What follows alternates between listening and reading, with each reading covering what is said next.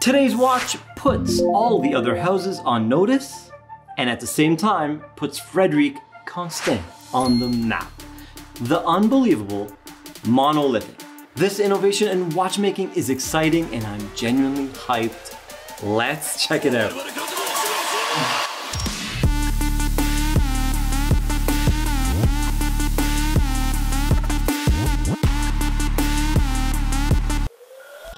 Introducing the all-new Frederique Constant Slimline Monolithic manufacture caliber beating away at 40 hertz. That's right, you heard me. 10 times the speed of a normal Swiss movement 288 medium beat. So this one, 288,000 vibrations per hour. Wow. And the result is obvious. The smooth, sweeping seconds hand, well, I don't want to say sweeping, gliding seconds hand, very reminiscent of spring drive. Now, spring drive took out the escapement for a glide wheel and a quartz crystal with a braking system. This thing took out the whole Swiss lever escapement for a thin piece of silicone. All one piece, that's where the name comes from, monolithic. That one piece replaces 26 parts, the whole Swiss lever escapement, but it does the same job, but without any oil and without any friction. And also, it's 100% anti-magnetic. And Frederique Constant is saying wear and tear on the silicone is basically nothing. So expect longer service intervals for sure. Some purists may be mad about this. They may think, you know what, you took the heart out of an automatic movement, and I don't know. What's left? The mainspring sending some power through the gear train, four or five gears, leading to a silicone oscillator? Hmm, the purists may argue that it has lost its soul. I'm curious, what are your thoughts? I'm undecided.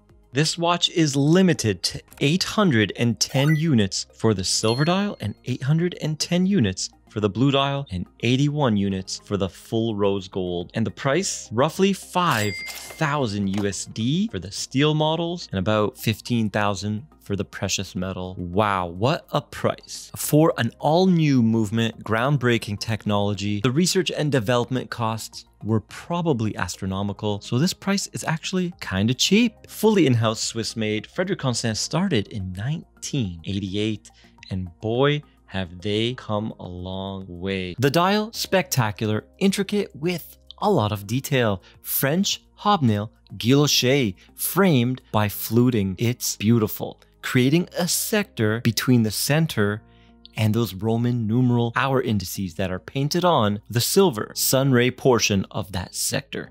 And the Roman numerals are framed by fluting again, creating a beautiful effect. We have a date subdial with Arabic numerals, only the odd numbers, and the guilloche is a finer hobnail design. The Roman numerals are painted black and the hands, Breguet style, are black as well and I think it's a great look. Has a nice contrast. Overall, they knocked it out of the park with this open heart guilloche dial. The measurements I got were 40 millimeters in diameter, but I feel it wears a little bit smaller, almost like a 38, because of those diminutive lugs. Double dome sapphire with anti-reflective coating, 11.6 thin, very nice. Lug to lug, 44.9. Okay, so excellent Wearability here, it's a 40 but wears smaller. So keep that in mind. The strap, the leather isn't the greatest, a little plasticky. We have 20 down to 18 and we do have the FC crest here as the deployant and it's just friction fit and it is milled. So well done Frederique Constant, creating a piece that it just oozes class like a Breguet for one tenth the price. So you get that taste of classical watchmaking and it's still Swiss made from a respected house. So they have a strong positioning in the industry.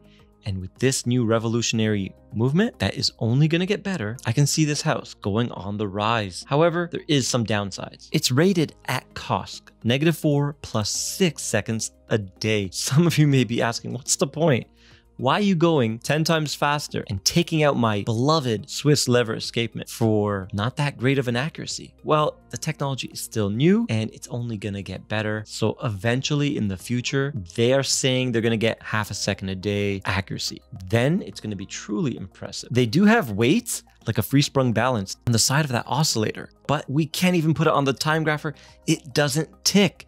It kind of hums Let's see if we can have a listen. And what you guys are seeing right now on the camera, you can see that oscillator oscillating. You can't see that in real life. The naked eye cannot perceive movement. When I'm looking at it right now, I see no movement and it feels a little dead that way. We love to see the beating heart of our movements, even from the back. When you look at the beautiful display case back and that rose gold rotor, you really don't see any movement at all. There you can see the FC810 in all its glory with perlage work, Côtes de Genève, 19 jewels, 80 hours of power reserve. And the mainspring is the same length as a 38 hour normal movement power reserve because the single piece oscillator is so efficient. Let's do the weight. 70 grams. Okay, very light and comfortable. The watch has a gorgeous, well-defined onion crown push-pull, giving the watch 30 meters of water resistance. So just splash proof here. Something you need to consider with this watch is servicing. You're gonna have to send it back to Frederique Constant. Your local watchmaker is probably gonna break that oscillator. It's paper thin, so factor that into your purchasing decision.